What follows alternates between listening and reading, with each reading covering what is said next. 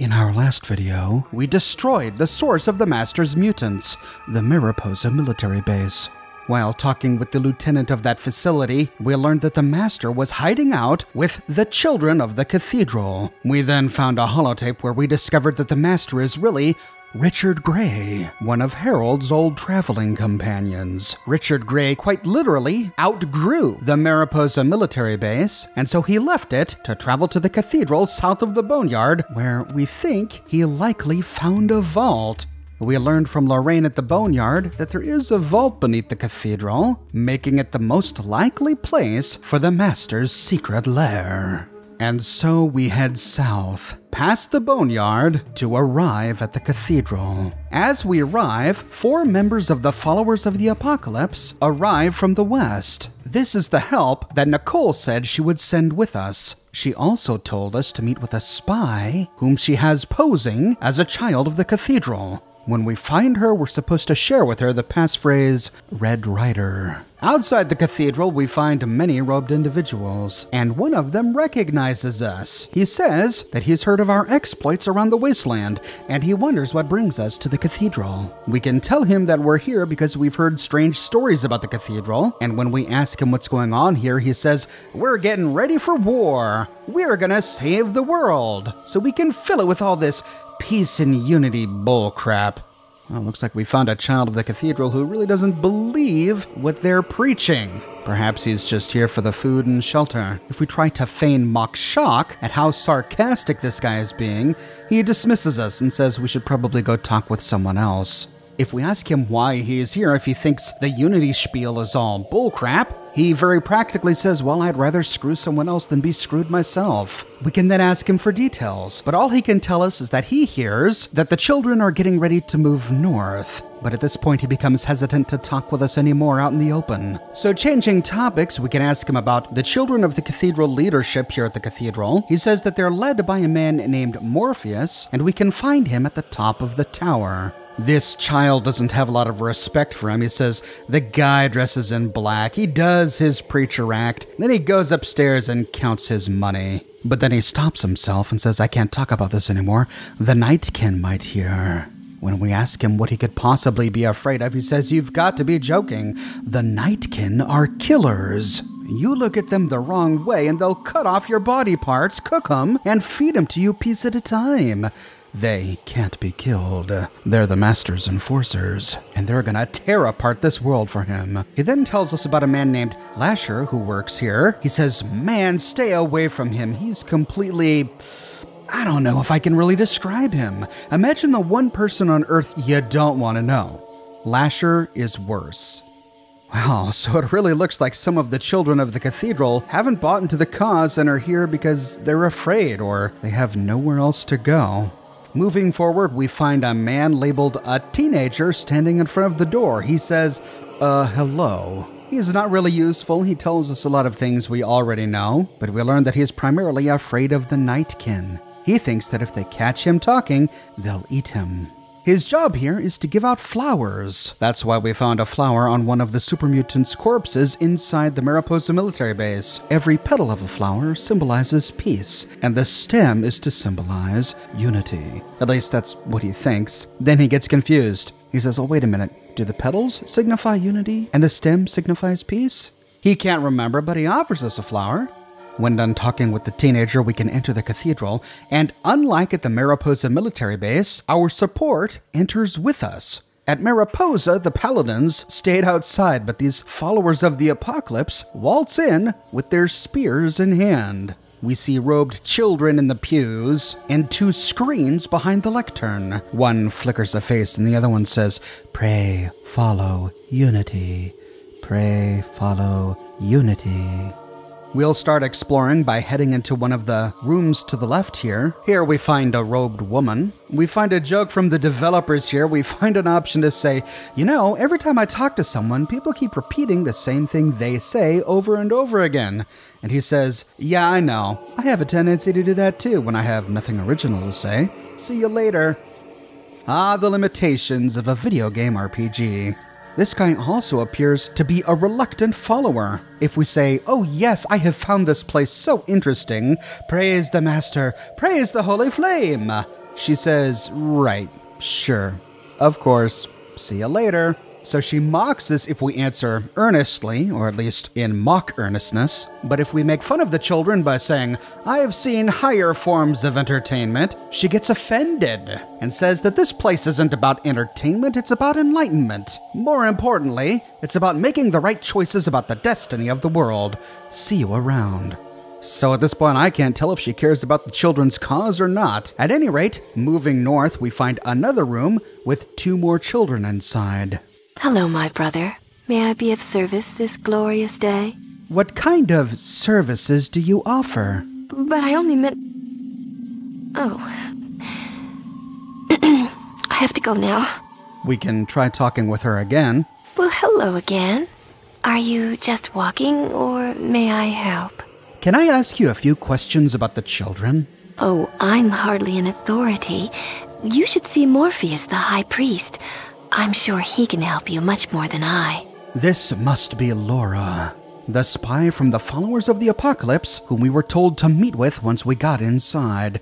We'll come back to talk with Laura later. For now, we'll continue exploring. Heading into the sanctuary, we can take the first door to the right. Here we find a robed man who acts as a merchant. We can buy a small store of chems and a whole lot of flowers, but more importantly, this is one more opportunity to get a Children of the Cathedral robe if we didn't have one already. Though to get it, we do have to kill him. Heading out of the shop and moving north, we find two armored people standing by a door to the east. This is Sister Frances. She gets upset at us for interrupting her meditation. We learn that their leader Morpheus hasn't given sermons in a very long time. She thinks it's because he and many of the other leaders are too busy getting ready for their crusade.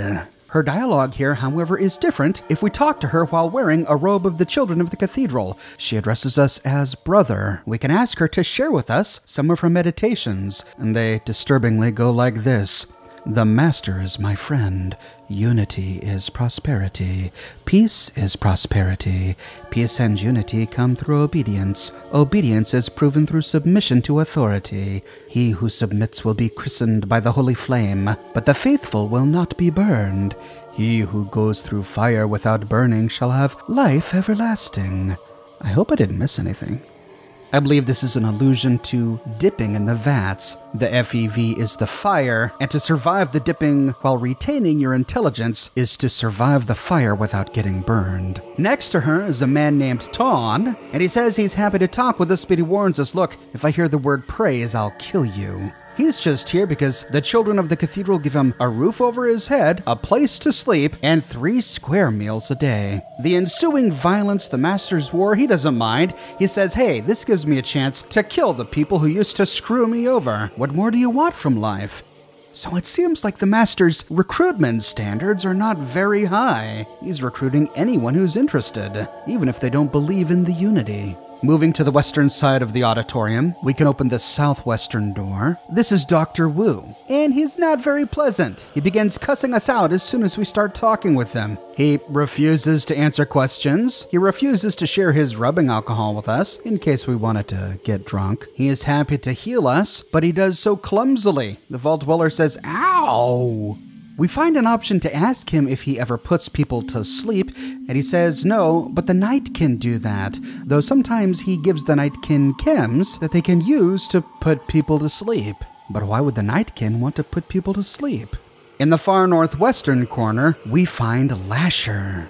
My quarters are not open to those who have not been consecrated, he says. I must ask you to leave at once. We can beg his forgiveness and use the opportunity to learn more about the cathedral. Lasher says that the cathedral is a sanctuary for the human race. This allowed for the birth of the Master, what he describes as a healing darkness from a terrible light. The terrible light being the nuclear apocalypse of 2077. When Lasher here arrived, he saw that the cathedral lacked a moral center, so he has taken it upon himself to administer teaching pain to the children here. The truth is, he's a sadist, and he simply likes beating his underlings with a cattle prod. We get different options if we arrive while wearing a Children of the Cathedral robe. We can pretend like we feel that we lack moral righteousness, and when we ask him how we can attain righteousness, he gives us a lecture about how no one should fear mutation, trying to argue that normal human conception is a mutation of some sorts. It's a mutation of our parents' DNA,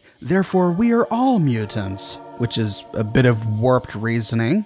But why would he tell one of the members of his religious order not to fear mutation? He almost gives us the impression here that many of these children are destined for the vats. He tells us that we should embrace pain as our closest friend, for pain is the most instructive force in the universe. We must inflict ourselves with pain until we break, which allows us to no longer exist as an individual. Only then can we be remade into the Master's tool. That is the solution to all of our problems. When we ask him why they call him Lasher, we learn that he carries a cattle prod with him. He calls the rod his holy instrument, through which he instructs his charges with pain. Pain clears the mind of evil thoughts and allows them to better comprehend the glory of the Master. Despite his reputation, we can insult him and his faith without him turning hostile. He tells us that we can find Morpheus at the top of the tower, but that we should be careful because the tower is guarded with Nightkin. If we ask him to persuade the Nightkin to allow us to pass, he says that's a reasonable request. Take this symbol. Show it to the Nightkin when you wish to pass. With that, he gives us a red Children of the Cathedral badge. We'll use this later, but now that we've talked with everyone on this bottom floor, we can head back south to check in with Laura. Hello, my brother. May I be of service this glorious day? Are you Laura? I most certainly am. Did you want something? Nicole sent me to talk with you. Nicole? I'm so sorry. I don't believe I know anyone by that name. Well, she told me to tell you Red Rider. I'm sorry. I I just don't know. Follow me to a place where we can talk. With that, she brings us to an empty room to the southeast. So, what can I do for you now? I need to ask you a few more questions. Make it quick. We can be creepy and say, What's a nice girl like you doing in a place like this? Uh-huh. Waiting desperately for someone to use that pathetic line on me. Or we can ask her what she's learned about the Master. Ugh, not much. The children worship him, and sometimes a huge vision of him appears in the main nave of the church. So he is real? Yes and no. I snuck up to the front one day, and I found a strange mechanical device with a lens under the altar. Sounds like some sort of holoprojector.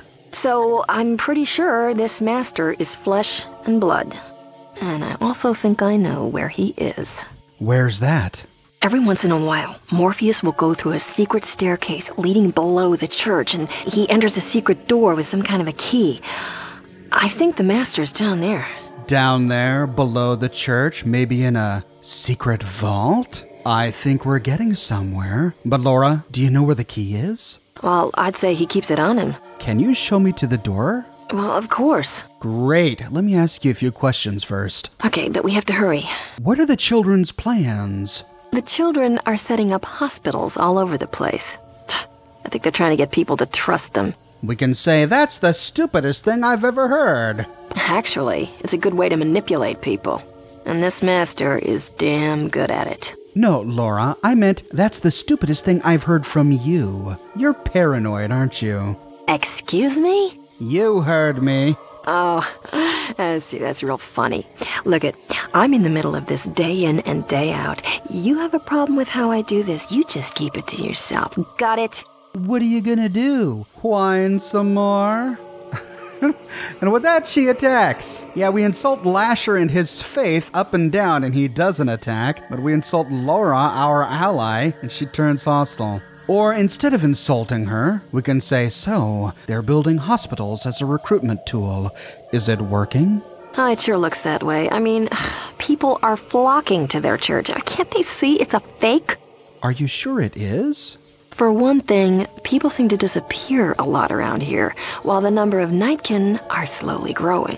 And this makes sense when added to the information we got at the Mariposa military base. Remember, in Richard Gray's log, we learned that his main reason for leaving the military base and coming to the cathedral was so that he could acquire more biomass. We just learned from Doc Wu that he doesn't put people to sleep, but that the Nightkin do. And that the Nightkin sometimes use Dr. Wu's drugs to put them to sleep. Why are they putting them to sleep? So they can kidnap them and bring them to the Master. Why does the Master need them? So that the Master can consume them and turn them into super mutants. And this explains why the people keep disappearing, but the Nightkin seem to grow. The people vanishing are being turned into Nightkin and other mutants. And this explains why the Master's recruitment standards don't appear to be too high. You don't even have to believe in the Unity to join the Children of a Cathedral, because after all, you're just going to be consumed by the Unity and become part of it. Your faith in it is irrelevant. With that, she brings us to the northeastern corner of the church and unlocks a door. She then brings us past a staircase and down a hallway to the west. Only Morpheus has the key to this door. I must leave now to let Nicole know what's going on here. If we try to talk with her again, she says, Please, I have to get away from here before they find out who I am. And with that, Laura walks away. So she brought us to the door that leads underground, but she doesn't have the key, and this door can't be picked. But she surmised that Morpheus has the key, and Morpheus is at the top of the tower. So to continue, we must go upstairs. With Lasher's badge in hand, we can explore this second floor. We find three rooms, and in two of them we find Nightkin. However, the Nightkin on this floor are always hostile, even if we're wearing Children of the Cathedral robes, if we're traveling with any companion. This includes the followers of the Apocalypse traveling with us and Dogmeat. Dogmeat, whom we can't tell to wait anywhere. We could talk to them and show them our red badge if we didn't have any of these companions, but since we do, they're all going to attack, which kind of defeats the point of wearing the robe to begin with. But we gotta keep this on our inventory anyway, because Morpheus won't talk with us unless we're wearing it. So, bypassing the two rooms to the left, which just have Nightkin in them, we can open the door to the right, which has a man in a robe. But this isn't Morpheus. This man appears to be insane. Every time we try to talk with him, he says something else that's just random and nonsensical. Your poetry sucks, man. It sucks, sucks, sucks. I want a horse. I need a horse. Bring me a horse, damn it. A horse. Shut up, you jerk. Pull yourself together. You're fools to cry for me. Never cry over spilled milk or damaged goods. I just want to set the world on fire. So are penguins and gyro buffalo. They shoot them out of great big bison guns. You gotta watch out for those buffalo women. They'll drop a bison on you so fast you won't know what hit you. Ha! I used to live in Penticton, British Columbia, or maybe I saw it on a map of the old days. Those were good old days. Wish I'd been alive back then. Why can't I be the important one for a change? I'm bored. What's worse, I've been screwed over. It isn't fun anymore. You ever got the feeling you were just strings and they didn't bother to hang you? I'm all over the floor. Doggone it, I'm a puzzle. Will you help me put myself together? Why do you think they call him the Master? And then there were the ones who lost their minds completely. I wish they were dead.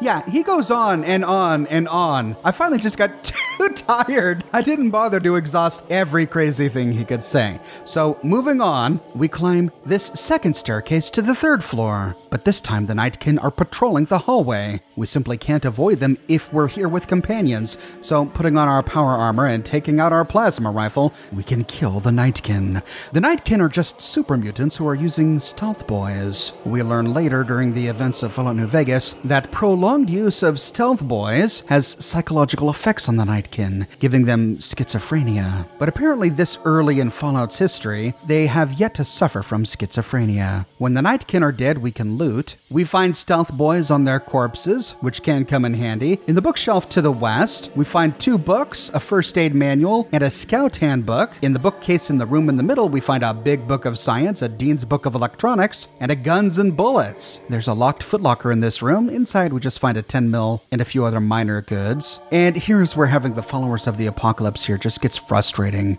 We already have four companions counting Dogmeat. With all four of the followers, that brings our companions up to eight. This hallway is so narrow that I constantly got stuck in these doorways just waiting for someone to move to leave one hex open so that I could move forward. Moving to the room to the east, the bookshelf is empty, but there is a locker on the ground that we have to unlock. We find quite a lot of ballistic ammunition, including dynamite and flares. But that's it for floor number three, so next we'll take the staircase to the top floor, floor number four.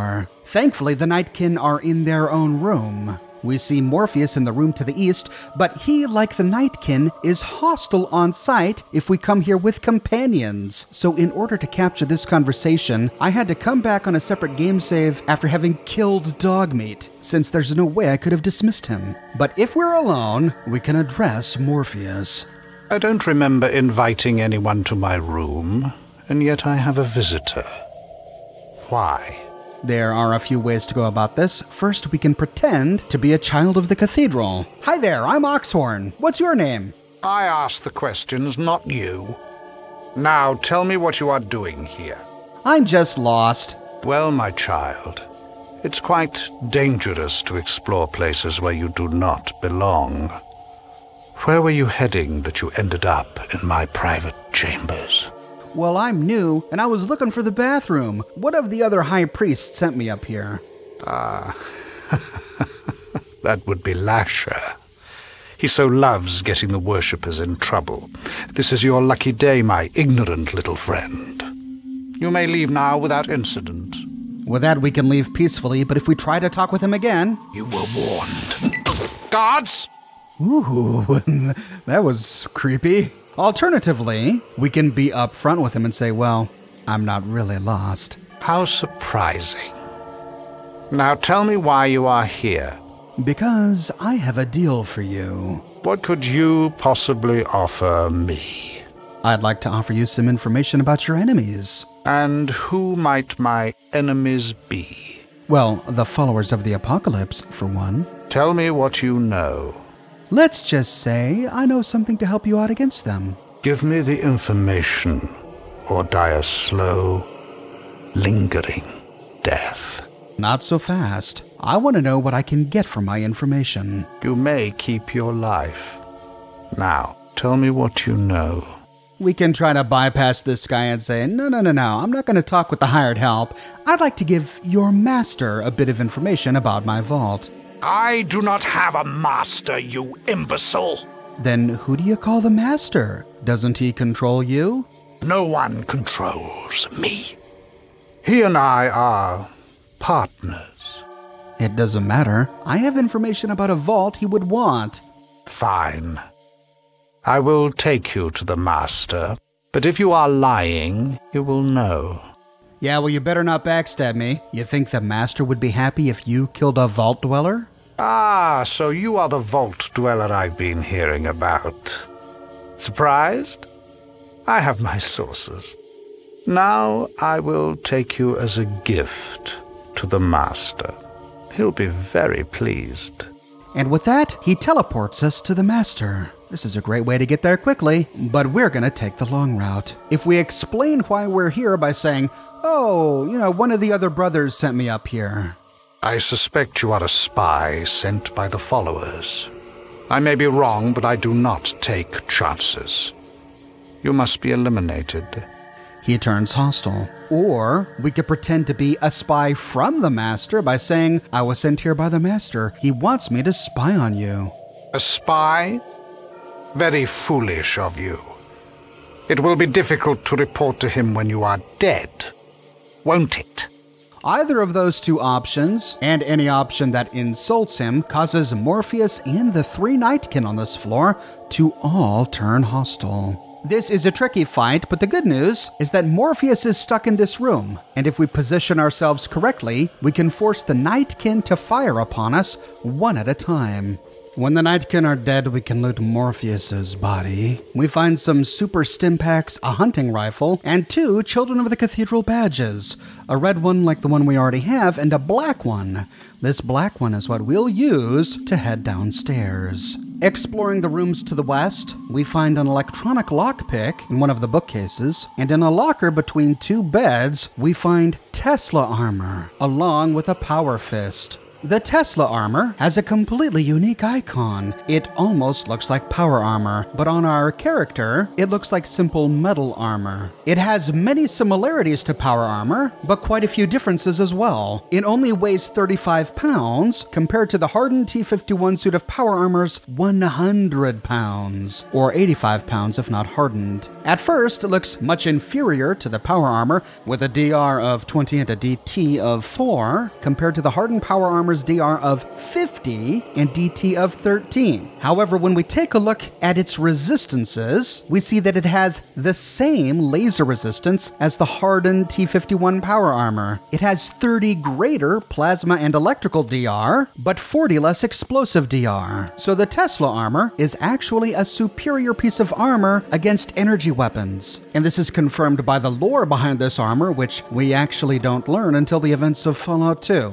The Tesla armor was manufactured before the war based on plans created by none other than Nikola Tesla. In the Fallout universe, the United States government confiscated the plans after his death. It is fantastic against energy weapons, but since there are superior choices against ballistic damage, its popularity was very niche, though we learned from Fallout 2 that some suits found their way into National Guard depots. If one doesn't have the hardened T 51 suit of power armor, this is an essential suit of armor for an upcoming battle. Now that we have the key, we can descend the tower. But before we do, notice that we see the boneyard off in the distance. On the right, I think we see But on the left, I think that's the library. Back on the ground floor, we can use the black key to open the locked door to the east. But as soon as we open it, even if we're wearing a cathedral robe, we get attacked by a nightkin hiding behind a wall at the end of the hall. His aggression and our subsequent defense turns most of the children in the cathedral hostile,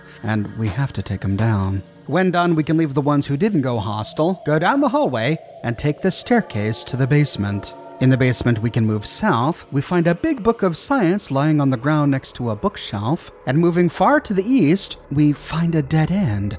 But Katya says there's something funny about that bookcase on the east wall. Looks like it's hiding something. We can nose around here, but we don't have to for long, because our companion sandbox script apparently doesn't consider secret doors. Tycho just walks right through it and opens it up for us. But if we don't have a companion, it's much harder to get through. The black badge doesn't work on this door. We can't use lockpicking to pick it. We can't use repair to repair it. Using science doesn't tell us anything about it. And we don't find a lever or a switch by the bookcase. The only way I was able to open it was to either wait for a companion to walk through or we can wait for it to open on its own. And out from the cave walks a man named Jeremiah. Jeremiah will be hostile if we're not wearing a disguise, but if we are wearing a disguise, he just walks on by. And if we do choose to talk with him, we can simply tell him that we are on an errand for the Master. On the other side of the wall, we find ourselves in a cave filled with centaur and floaters. This is the secret entrance to the Los Angeles Vault. The Los Angeles Vault was built by Vault-Tec, but it was never given a number. And that's because it was built as a demonstration vault. It was the first vault ever built by Vault-Tec. They built it as a proof of concept when trying to secure government funds to start the project, and as a marketing tool for convincing prospective residents. As a demonstration vault, it's a fully functional vault, complete with fusion reactor, but it's much smaller than a typical vault and its layout is much different. When the bombs dropped on October 23, 2077, the people of Los Angeles flocked to this vault since no one was living in it at the time. It was a demonstration vault. It is this vault that kept them alive long enough for them to emerge to become the founders of Adytum and the gangs of the Boneyard. After fighting our way through the Master's pets, we arrive at the vault door. The vault door is guarded by two super mutant guards wielding powerful high tech weapons. We can get by these guys if traveling by ourselves and if we're wearing a cathedral robe. However, we have to pass the right speech checks. When they stop us and ask us what we are doing, we can't antagonize them and instead have to answer, I'm on important business. You have no right to stop and question me. When he waves us on, we have to say blessings to your brother. But if we question him, he becomes suspicious and attacks. Alternatively, we can fight our way through. In this cave, we see a great deal of the Master's army, and it makes us wonder when exactly does the invasion start? Is there ever a moment in the game when the Master invades the wasteland? Does he ever attempt to find Vault 13 on his own? Well, in the original release of Fallout 1, in addition to the 150 day water chip timer, there was an invisible countdown timer of 500 days that started the moment we left Vault 13. This timer gave us 500 days to blow up the Mariposa military base and defeat the Master before the Master's army invaded Vault 13. We're given no indication how far along this timer is at any moment in the game. Instead, we see an end of game cinematic, like the ones we saw in yesterday's video, once 500 days expire. However, we make it even worse for ourselves if we hire the water merchants to deliver water to Vault 13. The idea goes that in order to deliver water to the vault, we had to give the location of Vault 13 to the water merchants, and somehow the children of the cathedral got their hands on this information, whether by treachery from the water merchants or infiltration, we don't know, and delivered it to the master. If we tell the water merchants where they can find Vault 13, our 500 day countdown timer until the mutant invasion instead becomes 400. On day 90, the mutants sack the LA Boneyard. On day 110, they destroy the necropolis. On day 140, they decimate the hub. On day 170, they destroy the Brotherhood of Steel. On day 200, they make it all the way to Junktown. On day 230, they obliterate Shady Sands. And then on day 400 or 500, depending on our choice, they finally make it to Vault 13 and the game ends. However, the developers patched this out of the game in a downloadable update, update version 1.1. The reasoning, I think, is that they didn't want to punish people for playing the game. There's this invisible countdown timer. You have no idea that the mutants are on their way to Vault 13, and the more you play the game, the more you explore the world, the worse it gets for you kind of disappointed a lot of players who invested all that time in their characters only to realize that they had to start completely over. So, patch 1.1 of Fallout added years to this mutant invasion, but those playing the game straight from the CD can still experience the mutant invasion. Knowledge of this game mechanic will become important later we can use our science skill on some of the computers inside the entrance to the demonstration vault to discover the location of the Mariposa military base if we hadn't done so already. There are some chems and medicine in a locker, but otherwise the entrance is empty, so to move forward, we can take the elevator to the west to floor 2. Now, if we arrive at floor 2 in power armor and go guns blazing, we miss a little bit of lore. So, exploring first in a Children of the Cathedral robe, we can move south to open a door into what appears to be some sort of operating room or laboratory. Here we find some human mad scientists. The mad scientists greet us and ask us what we are doing here. We can say that we're just checking up on their progress, and they reveal that things aren't going well. They've been injecting the FEV directly into the pineal gland of presumably their human captives, but they're not getting the results they had hoped for. Doing so results in increased psychic ability. But the side effect is that the subjects become terminally insane and must be sequestered and nullified to keep them from harming themselves or others. So FEV unlocks psychic abilities in humans? We can ask him where these subjects are kept, and he says in a room northwest of here. We can betray ourselves by asking, hey, what is FEV? And he's almost offended and begins to look at us suspiciously. Alternatively, we can try giving him advice and saying, well, you've tried injecting it in the pineal gland. Why don't you try injecting it directly in the amygdala? And he says, what an intriguing idea. I must try it at once. But we never find out the results of this experiment. Moving to the east, we find their super mutant guard. This is Vincent, and he is here to make sure the mad scientists stay on task. Leave them alone, he says, and get out. No one is allowed in here while they are sleeping. Moving south, we see some yellow force fields, behind which are a bunch of test subjects. Sadly, our radio doesn't work on these, but we can access a wall mounted terminal to the east to free the captives. We're free, they scream, we're free! And they get destroyed by a blast of psychic energy. But at least we get 2,000 experience for releasing them.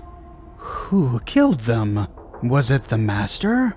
Could the Master be a psychic? Or did they suffer a side effect from all of the experiments done to them? With this bottom half explored, we can head north. Here we see three rooms. One appears to be a seminar room. We see two mutants giving a presentation to three children of the cathedral. I believe in the Master. His will is our salvation, says a child. And the mutants say, Pray with us for peace, child. The unity will prevail if we are all strong. Meditate on the quality of strength. Heading out and moving to the room to the left, these are some of the other test subjects that the mad scientist told us about, the ones who had developed psychic powers by having FEV injected into their pineal glands. Directly in front of the door, we find a man in a green shirt named Gideon. He's a normal looking person, but we see that he's wearing a crown. Jason is a living god. Only the nullified may pass, says Gideon. Who's Jason? We can ask. And he goes, Jason? Who's Jason? And with that, we can go, uh, yeah. Are you the experiments I'm looking for? And he says, The walls also have minds. I saw you. Tomorrow? I'll take that as a yes, we can say. And then he says, Meeting of the soul, melded with to protect the master of all and we get the impression that he's trying to tell us something. We can say, I see. So, how do I protect myself from the protectors of the Master? And he says there is only peace and joining. The price, the pain. One must be blind, nullified. And with that, we understand. The Master does indeed have psychic powers. Psychic powers that allows him to communicate with his army, but powers that can cause pain or death to humans who are not protected. We can say, Great! So, how do I join? So I too can get a nullifier. And he says, You cannot kill the genius of the all. You. Herf. But we can reassure him and say, Don't worry. I don't want to kill. I want to worship. He says, I will anoint you. I must give what I must not. When we say anoint, anoint me with what? We gain a thousand experience points for convincing the psyker to give us a psychic nullifier. The psychic nullifier appears as a crown in our inventory. As long as we have it in our inventory, we are protected from the master's psychic attacks, the results of which we saw on clear display when we released the captives from their cells. Inside this room, we find three other people talking with Lucy. She says, there's no place like home. There's no place like home. There's no place like home, and she paces back and forth.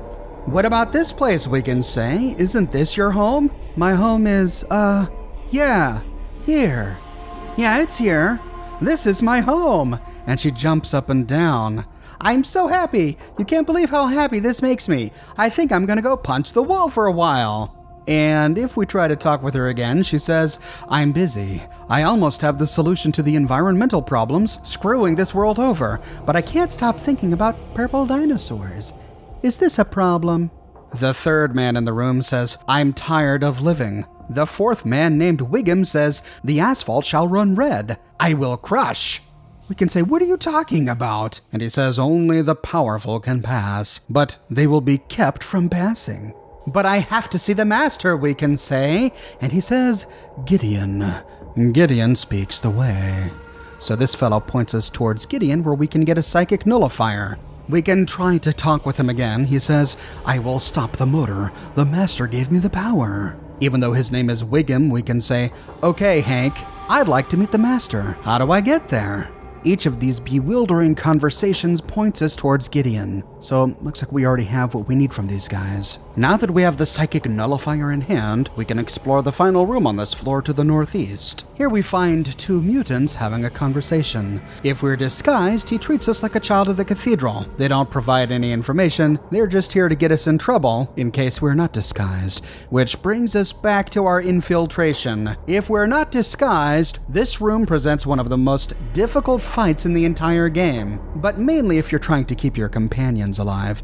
You'll notice here that I don't have any of my companions with me.